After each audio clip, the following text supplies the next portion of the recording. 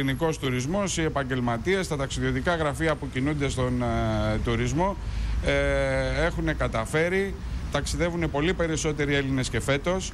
Πάμε σε, δι, σε διψήφιο αριθμό ε, αναχωρήσεων και αφήξεων. Αυτό οφείλεται ε, και στον εσωτερικό μας τουρισμό. Οι Έλληνες έχουν πλημμυρίσει πραγματικά όλη τη χώρα. Βοηθάνε λοιπόν τις περιοχές, τις λιγότερο γνωστές, ε, γεμίζοντας και εκεί τα νησιά. Ε, και βέβαια έχουμε πολύ μεγάλη ανάπτυξη και στον εξερχόμενο τουρισμό, με τον οποίο κινούμαστε σε διψήφιο αριθμό ανάπτυξης. Οι Έλληνες λοιπόν φέτος για τέταρτη συνεχόμενη χρονιά ταξιδεύουν πολύ περισσότερο. Υπάρχει μια κινητικότητα λοιπόν σε όλη τη χώρα ε, όσον αφορά τον εγχώριο τουρισμό. Έτσι δεν μπορούμε να πούμε συγκεκριμένα για κάποιες περιοχές ε, προτίμησης. Ε, και από εκεί πέρα ταξιδεύουμε και έξω πολύ. Έχει διπλασιαστεί μου είπατε αν... Όχι διπλασιαστεί, αριθμό αύξησης.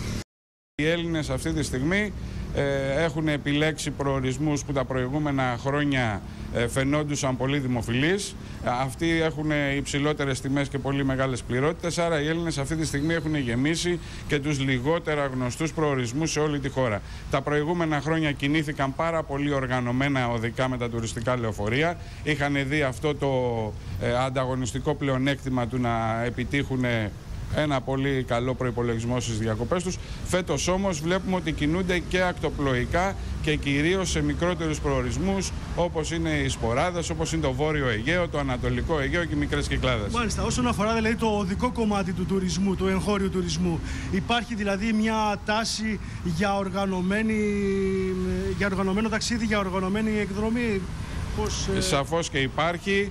Ε, πολλές οικογένειες, πολλοί ταξιδιώτες επιλέγουν να κινηθούν με οργανωμένες διακοπές, με τα διακοπών πάνουν και τη διαμονή αλλά και τη μεταφορά τους μη χρησιμοποιώντας το δικό τους μεταφορικό μέσο.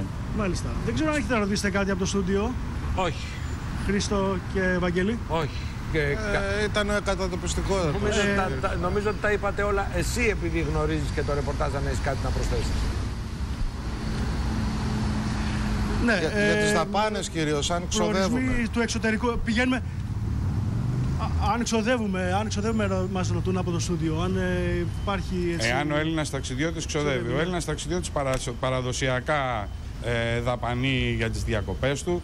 Ο Έλληνας όχι, και ο ξένος, όχι μόνο Έλληνας. Που τον περιγράφαμε ως πε... Και ο ξένος. Και ο ξένος, και ο ξένος. Ε, να σας ολοκληρώσω για τους Έλληνες ότι είναι περιηγητές, άρα θέλουν να πάνε να δουν, να απολαύσουν, ε, ε, στον εισερχόμενο τουρισμό η Ελλάδα είναι ένας προορισμός ο οποίος καλύπτει όλα τα βαλάντια θα έλεγα σε εισαγωγικά ναι, πλέον έχοντας πολύ περισσότερο κόσμο που έρχεται από προηγμένες ε, αγορές όπως είναι οι Ηνωμένες Πολιτείες, σαφώς και το, η κατανάλωση που γίνεται στην Ελλάδα είναι σε πολύ μεγαλύτερη.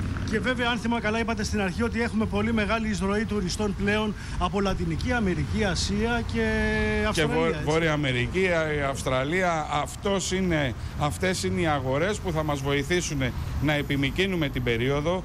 Αυτές είναι οι αγορές οι οποίες θα περιηγηθούν στην Ελλάδα, δεν είναι μόνο παραθεριστές, άρα θα έχουμε πολύ μεγαλύτερη επισκεψιμότητα ε, και σε μνημεία και σε μικρότερους προορισμούς και σε αξιοθέατα και αρχαιολογικούς χώρους. Είναι άνθρωποι οι οποίοι ενδιαφέρονται πάρα πολύ και για τη γαστρονομία μας και για τις δραστηριότητές μας και για τα ήθη και για τα έθιμά μας.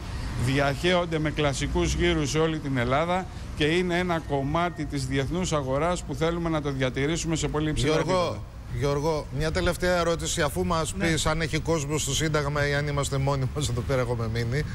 Ε, να ρωτήσω τον κύριο Παλιούρα αν αυτή η εικόνα που υπάρχει καλή γενικά με τις αφήξεις ε, αντιστοιχεί και σε πληρότητες στα ξενοδοχεία γιατί πολλοί παραπονούνται ότι η πληθώρα του Airbnb και στην Αθήνα και στο Λεγανοπέδιο ε, δημιουργεί προβλήματα στις πληρότητες των ξενοδοχείων.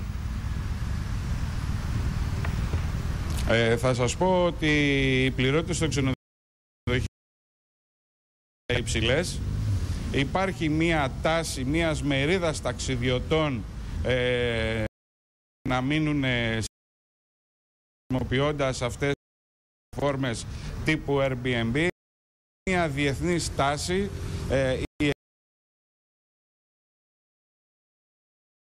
τον οργανωμένο τουρισμό εκπορεύεται τους ε, βέβαια στις οργανωμένες ξενονάδες και τα καταλήμματα.